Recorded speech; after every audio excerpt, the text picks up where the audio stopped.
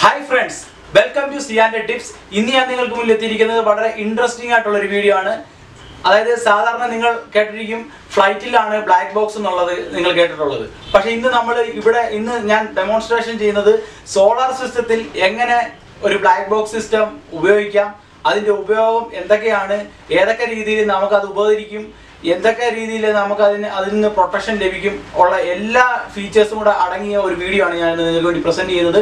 അപ്പോൾ ഇത് യൂട്യൂബിൽ ഇതുപോലെ ഒരു പ്രസന്റേഷൻ നിങ്ങൾക്ക് ചിലപ്പോൾ ആദ്യമായിട്ടായിരിക്കും എന്നുള്ള കാര്യത്തിൽ നൂറ് ശതമാനം എനിക്ക് ഉറപ്പ് തരാൻ പറ്റും. ഓക്കെ അപ്പോൾ അതിനായിട്ട് നമ്മൾ ചൂസ് ചെയ്യുന്നത് വെച്ച് കഴിഞ്ഞാൽ ഒരു M P P T solar charge controller ആണ്. ഞാൻ ഓൾറെഡി കുറെ വീഡിയോസ് അപ്ലോഡ് ചെയ്തപ്പം ഒരു പല ഒത്തിരി ഫീച്ചേഴ്സ് ഉണ്ടെന്ന് പറഞ്ഞായിരുന്നു. അതിന്റെ ഫസ്റ്റ് ഫീച്ചേഴ്സ് പാർട്ട് വൺ ആയിട്ടാണ് ഞാൻ ഇപ്പോൾ അവതരിപ്പിക്കുന്നത്. അപ്പോൾ ഇതാണ് നമ്മുടെ E P ever tracer solar charge കൺട്രോളറിന്റെ ബ്ലാക്ക് ബോക്സ് സിസ്റ്റം ഓക്കെ പിന്നെ എന്തുവാണ് ബ്ലാക്ക് ബോക്സ് സിസ്റ്റം എന്ന് ജസ്റ്റ് ഒന്ന് പറയാം.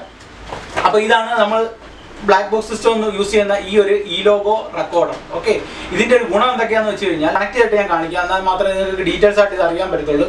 കാര്യം ഇതിനകത്ത് ഒത്തിരി പോർട്ട് കമ്മ്യൂണിക്കേഷൻ പോർട്ട് കുറെ കേബിൾസ് കണക്ഷൻ ഒക്കെ ഉണ്ട്. അപ്പോൾ അത് ഞാൻ ഇങ്ങനെ കാണിച്ചാൽ നിങ്ങൾക്ക് ക്ലിയർ ആകത്തില്ല. ജസ്റ്റ് ഒരു പ്രസന്റേഷൻ പോലെ ഞാൻ ഇതിന്റെ കൂട്ടത്തിൽ നിങ്ങൾക്ക് തീർച്ചയായും കാണിക്കുന്നതായിരിക്കും. പറഞ്ഞു വന്നതെന്ന് വെച്ച് കഴിഞ്ഞാൽ ഇതിനകത്ത് നമുക്ക് മെയിൻ ആയിട്ട് ഉള്ള ഗുണമെന്ന് വെച്ച് കഴിഞ്ഞാൽ സോളാർ പ്ലാന്റിലെ ഫുൾ ഡാറ്റ ലോഗ് അനലൈസ് നമുക്ക് ചെയ്യാം. ഇപ്പോൾ ഒരു ദിവസം നമുക്ക് ഒരു സോളാർ പാനലിന് എക്സാമ്പിൾ ഒരു എത്ര വോൾട്ടേജ് വന്നു എത്ര മാക്സിമം കറണ്ട് വന്നു എന്നൊന്നും നമുക്ക് എപ്പോഴും പോയി ചെക്ക് ചെയ്യാൻ പറ്റത്തില്ല. ഈ ഒരു സിസ്റ്റത്തിന്റെ ഗുണം എന്ന് വെച്ചാൽ നമുക്ക് ഒരു ആറ് മാസത്തേക്ക് തിരിഞ്ഞു നോക്കണ്ട. ആറ് മാസം നമുക്ക് ജസ്റ്റ് ഡേറ്റ് ചൂസ് ചെയ്തുകൊണ്ട് നമുക്ക് ഫുൾ ഇൻഫോർമേഷൻ നമുക്ക് കിട്ടും. ഈ ബ്ലാക്ക് ബോക്സ് സ്റ്റോർ ചെയ്യും. അപ്പോൾ നമ്മുടെ റിക്വയർമെന്റ് അനുസരിച്ച് നമ്മൾ നേരെ ആ ബ്ലാക്ക് ബോക്സ് നമ്മുടെ ഫോണിലോ അല്ലെങ്കിൽ ലാപ്ടോപ്പിലോ എവിടെയാണെന്ന് വെച്ചാൽ നമ്മൾ കണക്ട് ചെയ്ത് നമുക്ക് അതിനകത്ത് ഡാറ്റ ഫുള്ള് അപ്ലോഡ് ചെയ്ത് ഒരു എക്സൽ ഫോർമാറ്റ് ആയിട്ട് കിട്ടും. അപ്പം നമുക്ക് അതിൽ നിന്ന് തന്നെ നമുക്ക് ഈസി ആയിട്ട് എല്ലാം ഫൈൻ ചെയ്യാൻ പറ്റും. അപ്പോൾ ജസ്റ്റ് ഒരു വീഡിയോ ഡെമോൺസ്ട്രേഷൻ എങ്ങനെ ആ സോഫ്റ്റ്വെയർ വർക്ക് ചെയ്യുന്നത് എങ്ങനെയാണ് അതിന്റെ പാരാമീറ്റേഴ്സ് എടുക്കുന്ന എല്ലാ ഡീറ്റെയിൽസും ഞാൻ ഈ ഒരു വീഡിയോയിലൂടെ ഉൾപ്പെടുത്തുന്നുണ്ട്. അപ്പോൾ ഇഷ്ടപ്പെട്ട തീർച്ചയായും ലൈക്ക് ചെയ്യുക ഷെയർ ചെയ്യുക കമന്റ് ചെയ്യുക. ഓക്കെ അപ്പോൾ നമുക്ക് നേരെ വീഡിയോ കിടക്കാം. അപ്പോൾ നമ്മൾ ബ്ലാക്ക് ബോക്സ് സിസ്റ്റത്തിലോട്ട് കടക്കുന്നതിന് മുന്നേ ഇതാണ് നമ്മുടെ എൻക്ലോസർ അതായത് എന്റെ ഈ ഡി സി സിസ്റ്റങ്ങളെല്ലാം ചെയ്തിരിക്കുന്ന എല്ലാം ഈ എൻക്ലോസറിനകത്താണ് ചെയ്തിരിക്കുന്നത്. ഓക്കെ നമുക്ക് ജസ്റ്റ് ഒന്ന് ഓപ്പൺ ചെയ്ത് തരാം. ഇപ്പോൾ നിങ്ങൾക്ക് കാണാൻ കഴിയുന്നുണ്ടോ? ഇത് നമ്മുടെ വീട്ടിലെ ഒരു ചെറിയൊരു യൂണിറ്റ് സെക്ഷനാണ് ഓട്ടോമേഷൻ ഇൻബിൽറ്റഡ് ആയിട്ടുള്ളത്. വേറെ സെക്ഷൻ ഏരിയ ഉണ്ട്. അപ്പോൾ ഇതിനെപ്പറ്റി ഞാനൊരു വീഡിയോ ഇടുന്നുണ്ട്. പക്ഷേ ഇത് ഓരോ പാർട്ട് പാർട്ടായിട്ട് ഇടാനേ പറ്റത്തുള്ളൂ. എന്നാലും നിങ്ങൾക്കും മനസ്സിലാകത്തുള്ളൂ. എന്നാൽ മാത്രമേ ഈ ഡ്യൂറേഷൻ കുറച്ച് നമുക്ക് വീഡിയോ കാണാൻ പറ്റത്തുള്ളൂ. ഇതിപ്പോൾ ഒറ്റ സ്ലോട്ടിലിട്ട് കഴിഞ്ഞാൽ ചിലപ്പോൾ രണ്ട് മണിക്കൂറൊക്കെ എടുക്കേണ്ടി വരും ഈ ഒരു സിസ്റ്റത്തിന്. ഓക്കെ അപ്പോൾ നമുക്ക് നമ്മുടെ പോയിന്റിലോട്ട് വരാം. ഇതാണ് എന്റെ M B P T solar charge controller. Okay ഇതിനെപ്പറ്റി പറയുകയാണെങ്കിൽ ഈ കൺട്രോളറിൽ കുറേ പോയിന്റ്സ് ഉണ്ട്. അതായത് solar positive negative battery load അതേപോലെ ഇതാണ് നമ്മുടെ മെയിൻ സംഭവം. കമ്മ്യൂണിക്കേഷൻ കേബിൾ ഇവിടെ കോമ്പോട്ട് കമ്മ്യൂണിക്കേഷൻ ഞാൻ കണക്ട് ചെയ്തിട്ടുണ്ട്. ഈ കേബിൾ നേരെ നമ്മുടെ വീട്ടിലെ ഹാളിലോട്ട് പോകും അപ്പം ഹാളിൽ അവിടാണ് ഞാൻ ഈ പറഞ്ഞ ബ്ലാക്ക് ബോക്സ് ഫിറ്റ് ചെയ്തിരിക്കുന്നത്. അപ്പം ഇവിടുത്തെ സെനാരിയോ എന്ന് പറയുമ്പം black box plus monitoring system എല്ലാം ഈ ഒരു കമ്മ്യൂണിക്കേഷൻ കേബിളിൽ കൂടെ ഹാളിൽ നമ്മൾ ഓൾറെഡി ലൊക്കേറ്റ് ചെയ്തിട്ടുണ്ട്. നമുക്ക് നേരെ അങ്ങോട്ട് പോകാം അപ്പോൾ നമ്മുടെ ബ്ലാക്ക് ബോക്സ് അലോക്കേറ്റ് ചെയ്തിരിക്കുന്നത് പെരയ്ക്കകത്തിലാണ്. ഈ കമ്മ്യൂണിക്കേഷൻ കേബിൾ നമ്മുടെ solar charge controller M P P T എന്ന് വരുന്ന കമ്മ്യൂണിക്കേഷൻ കേബിളാണ് ഇത് ഡിവൈസ് കോമ്പോർട്ട് എന്ന് പറയും ഇതിന്. ഓക്കെ പിന്നെ ഇതിനകത്തൊരു ബാറ്ററി ഉണ്ട്. ജസ്റ്റ് ബാറ്ററി അതായത് ഈ ഈ മോഡ്യൂൾ ഈ മോഡ്യൂളിനകത്ത് നമുക്കൊരു മെമ്മറി ഉണ്ട്. അതായത് ഈ കമ്പ്യൂട്ടറിലെ സിമോസ് എന്ന് പറയുന്ന പോലെ ഇതിനകത്ത് ഡാറ്റ സ്റ്റോർ ചെയ്യുന്നതിന് ഒരു ബാറ്ററി ആവശ്യമുണ്ട്. ഈ നമുക്കിപ്പോൾ ഈ ഒരു ഏതെങ്കിലും ഒരു സോളാർ പ്ലാന്റ് അതായത് ഒരു വീട്ടിലൊരു സോളാർ സിസ്റ്റം ചെറുതുണ്ടെങ്കിൽ അതിനെ പ്ലാന്റ് ആയിട്ടാണ് നമ്മൾ കൺസിഡർ ചെയ്യേണ്ടത്. ഇതിന്റെ ഔട്ട്പുട്ട് ഞാൻ നേരെ ഒരു ഡിജിറ്റൽ റിമോട്ട് മീറ്ററിൽ കണക്ട് ചെയ്തിട്ടുണ്ട്. നമുക്ക് ഇപ്പം ഈ സോളാർ കൺട്രോളർ എൻക്ലോസർ എല്ലാം നേരെ പെരയുടെ മുകളിലാണ് വെച്ചിരിക്കുന്നത്. അപ്പോൾ ഇതിന്റെ എല്ലാത്തിന്റെ ആക്സസ് നമുക്ക് പെരയ്ക്കകത്ത് കിട്ടും. ഈ ഒരു കമ്മ്യൂണിക്കേഷൻ കേബിൾ ത്രൂ അപ്പം ഇതിന്റെ ഈ പറഞ്ഞ പോലെ പി സി ഇതിനെപ്പറ്റിയൊക്കെ ഞാൻ പ്രത്യേകം വേറെ വീഡിയോ ഇടുന്നുണ്ട്. ഈ ഡിവൈസ് കോമ്പോട്ടിന്റെ ഔട്ട്പുട്ട് ഒരു കേബിൾ ഒരു കമ്മ്യൂണിക്കേഷൻ കേബിൾ ഉണ്ട്. ഇവിടെ നമുക്ക് വേണമെന്നുണ്ടെങ്കിൽ വൈഫൈ പോർട്ട് കണക്ട് ചെയ്യാം അല്ലെങ്കിൽ അതേപോലെ മീറ്റർ കണക്ട് ചെയ്യാം. അതേപോലെ ലാപ്ടോപ്പിനുള്ള അതർ കമ്മ്യൂണിക്കേഷൻ നമുക്ക് കണക്ട് ചെയ്യാൻ പറ്റും. പക്ഷേ ഇവിടെ ഞാൻ ഇവിടെ യൂസ് ചെയ്തിരിക്കുന്നത് മീറ്ററാണ് കാരണം നമുക്ക് മുകളിലത്തെ സ്റ്റാറ്റസ് അല്ല ഇവിടെ ഇന്ന് തന്നെ വ്യൂ ചെയ്യാം. പിന്നെ അതേപോലെ ഞാനിത് എന്റെ കമ്പ്യൂട്ടറുമായിട്ട് കണക്ട് ചെയ്തിട്ടിരിക്കുകയാണ്. അപ്പോൾ അത് ഒരു സോളാർ ത്രൂ ആണ് അതെല്ലാം ഓടുന്നത്. അപ്പം നമുക്ക് ഇത് നേരെ സോഫ്റ്റ്വെയറിലോട്ട് കണക്ട് ചെയ്യാൻ വേണ്ടി ഞാൻ ഇവിടെ കമ്മ്യൂണിക്കേഷൻ കേബിൾ ഓൾറെഡി അലോക്കേറ്റ് ചെയ്തിട്ടുണ്ട്.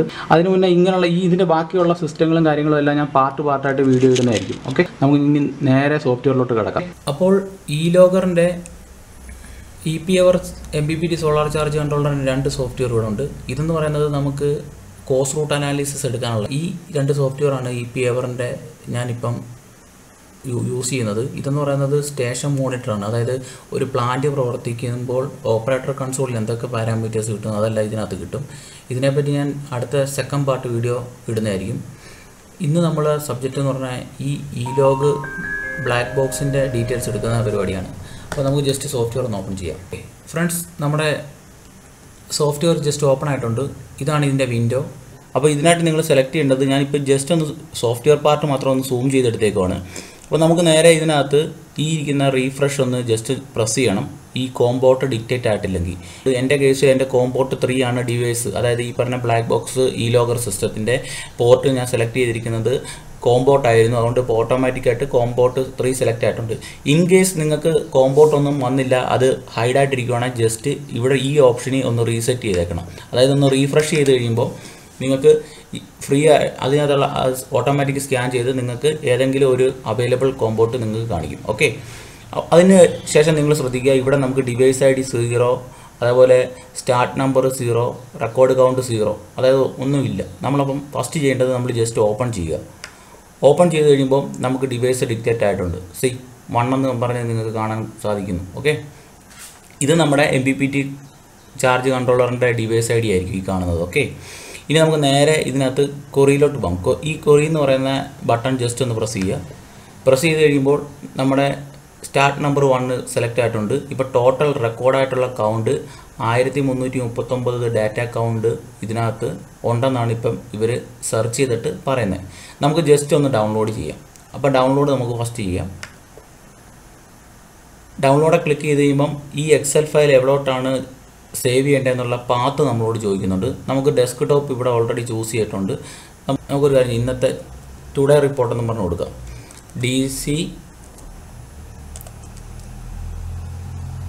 report today D C report today എന്ന് പറഞ്ഞ് കൊടുത്തു. ഞാൻ ജസ്റ്റ് സേവ് ചെയ്തു. അപ്പോൾ നമ്മുടെ അക്കൗണ്ട് ജസ്റ്റ് ഡൗൺലോഡ് ആയിക്കൊണ്ടിരിക്കുന്നുണ്ട്. അതായത് ആയിരത്തി മുന്നൂറ്റി മുപ്പത്തൊമ്പത് പോയിന്റ്സ് ഉണ്ട്. ഇപ്പോൾ ഏകദേശം ഒരു ടെൻ പെർസെന്റേജ് ഡൗൺലോഡ് ആയിട്ടുണ്ട്. ഓക്കെ നമുക്ക് വെയിറ്റ് ചെയ്യാം. ഇപ്പോൾ ഏകദേശം ഒരു ഫോർട്ടി ഫൈവ് പെർസെന്റേജോളം ഡൗൺലോഡായി കഴിഞ്ഞു. നമുക്കിപ്പോൾ ഇത്രയും കൗണ്ട് മതിയെങ്കിൽ നമുക്ക് വേണമെങ്കിൽ ജസ്റ്റ് ക്ലോസ് ചെയ്യാം. അപ്പം എത്രയും ഡൗൺലോഡായ അത്രയും നമുക്ക് പോയിന്റ് കിട്ടും. അതിൽ നിന്ന് നമുക്ക് ഫൈൻ ചെയ്യാം. ഓക്കെ ഇനി ഇൻ കേസ് നിങ്ങൾക്ക് ഒരു ദിവസത്തെ മാത്രം കണ്ടുപിടിക്കണം എന്ന് വെച്ച് കഴിഞ്ഞാൽ ഇതിപ്പം ഞാനൊരു എനിക്ക് തോന്നുന്ന ഒരു ഒരാഴ്ചക്ക് മുന്നേ ഞാൻ ഇതൊന്ന് റീസെറ്റ് ചെയ്തായിരുന്നു. അതുകൊണ്ടാണ് നമുക്ക് ഇത്രയും കൗണ്ട് ഉള്ളത് അല്ലെങ്കിൽ ഇതിനേക്കാളും കൂടുതൽ കൗണ്ട് ഇതിനകത്ത് വന്നേനെ. അപ്പോൾ ഡൗൺലോഡിങ്ങിന് ഒത്തിരി സമയം എടുക്കും. അപ്പോൾ ഈ ഒരു ഡെമോൺസ്ട്രേഷന് വേണ്ടിയാണ് ഞാൻ ഇങ്ങനെ പ്ലാൻ ചെയ്ത് വെച്ചിരുന്നത്. ഓക്കെ അപ്പോൾ ഇതിനകത്ത് മെയിനായിട്ട് പറയേണ്ട കാര്യം നിങ്ങൾക്കിപ്പം ഒരു ദിവസത്തെ മാത്രം മതി. അതായത് ഇപ്പം എക്സാമ്പിൾ നിങ്ങൾക്ക് നാളത്തെ ദിവസം നിങ്ങൾക്ക് നിങ്ങളുടെ സോളാർ സിസ്റ്റം ഫുൾ അനലൈസ് ചെയ്യണം. അങ്ങനെ ഉണ്ടെങ്കിൽ ഈ ബട്ടൺ ജസ്റ്റ് ഒന്ന് റീസെറ്റ് ചെയ്ത് കഴിഞ്ഞാൽ ഈ കൗണ്ട് എല്ലാം സീറോ ആയി പോകും പിന്നെ നാളത്തെ ദിവസം കഴിഞ്ഞ് മറ്റന്നാൾ നിങ്ങൾ ജസ്റ്റ് ഒന്ന് ഡൗൺലോഡ് ചെയ്യുകയാണെങ്കിൽ അന്നത്തെ ദിവസത്തെ രാവിലെ സ്റ്റാർട്ട് തൊട്ട് അതായത് ആറ് മണി തൊട്ട് പാനലിന്റെ വെയിൽ വന്നിടം തൊട്ട് അതേപോലെ വൈകിട്ട് വരെയുള്ള എല്ലാ ഡീറ്റെയിൽസും എത്ര കറണ്ട് ഏത് സമയത്ത് എപ്പോഴൊക്കെ വന്നു എന്തെങ്കിലും ഇഷ്യൂ ഉണ്ടോ മാക്സിമം സോളാർ പാനലിന്റെ വാട്ട്സ് എത്ര പ്രൊഡ്യൂസ് ചെയ്തു അതേപോലെ മാക്സിമം എത്ര ലോഡ് നമ്മൾ യൂസ് ചെയ്തു ഓക്കെ അങ്ങനെയുള്ള എല്ലാ കാര്യങ്ങളും നമുക്ക് അനലൈസ് ചെയ്യാൻ സാധിക്കും ഓക്കെ അപ്പോൾ ഡൗൺലോഡിങ് ഏകദേശം കംപ്ലീറ്റ് ആയി. ഫ്രണ്ട്സ് അങ്ങനെ നമ്മുടെ software record count full complete ആയിട്ടുണ്ട്. നമുക്ക് ജസ്റ്റ് ഈ ഒരു ആപ്ലിക്കേഷൻ ക്ലോസ് ചെയ്യാം ഓക്കെ അങ്ങനെ നമ്മുടെ ഡി സി സോളാർ സിസ്റ്റത്തിന്റെ റിപ്പോർട്ട് ഡെസ്ക്ടോപ്പിൽ ഓൾറെഡി ഡൗൺലോഡായി വന്നു. നമുക്ക് ജസ്റ്റ് ഇതൊന്ന് ഓപ്പൺ ചെയ്യാം. ഓപ്പൺ ചെയ്യുമ്പോൾ ഇങ്ങനെ ഒരു ഇന്റർഫേസ് ആണ് വരുന്നത്. ഞാൻ ജസ്റ്റ് ഈ ഹെഡിങ് ഒന്ന് ക്ലിക്ക് ചെയ്തിട്ട് ഒന്ന് ഹൈലൈറ്റ് ചെയ്യാം. എന്നാൽ മാത്രമേ നിങ്ങൾക്ക് ഏകദേശം ഒരു ക്ലിയർ പിക്ചർ കിട്ടത്തുള്ളൂ. ഇനി നമുക്ക് ശ്രദ്ധിക്കേണ്ടത് നമ്മുടെ ഇത് റെക്കോർഡ് നമ്പറാണ് അതായത് നമ്മുടെ റെക്കോർഡ് എന്ന് പറയുമ്പോൾ ആയിരത്തി മുന്നൂറ്റി മുപ്പത്തൊമ്പത് സംതിങ് റെക്കോർഡ് റെക്കോർഡ് ആയിട്ടുണ്ട് ഇതിനകത്ത്. പിന്നെ രണ്ടാമത്തെ ഓപ്ഷൻ എന്ന് പറയുമ്പോൾ നേരെ സോളാർ പാനലിന്റെ കറണ്ടാണ് നമുക്ക് സോളാർ പാനലിൽ എത്ര കറണ്ട് നമുക്ക് ജനറേറ്റ് ആയെന്നുള്ളത് അപ് ടു ഡേറ്റ് ഏതൊക്കെ സമയത്ത് എന്നുള്ള എല്ലാം കണ്ടുപിടിക്കാൻ ഉള്ള കോളം ഓൾറെഡി ജനറേറ്റ് ആയി കഴിഞ്ഞു. അതേപോലെ സോളാർ പാനലിന്റെ വോൾട്ടേജ് അതേപോലെ സോളാർ പാനലിന്റെ വാട്ട് അതേപോലെ നമ്മുടെ ഉപയോഗിക്കുന്ന ലോഡിന്റെ കറണ്ട് ഉപയോഗിക്കുന്ന ലോഡിന് വന്ന വോൾട്ടേജ് അതേപോലെ ലോഡ് എത്ര ലോഡ് കൺ ഉപയോഗിച്ചെന്നുള്ളതിന്റെ ഒരു ഇപ്പോൾ എക്സാമ്പിൾ ഒരു ബൾബ് ഇട്ട് നമ്മൾ ഉപയോഗിച്ച് കഴിഞ്ഞാൽ ആ ബൾബിന്റെ വാട്ട്സ് എത്ര കറക്റ്റ് ഇതിനകത്ത് അറിയാൻ പറ്റും.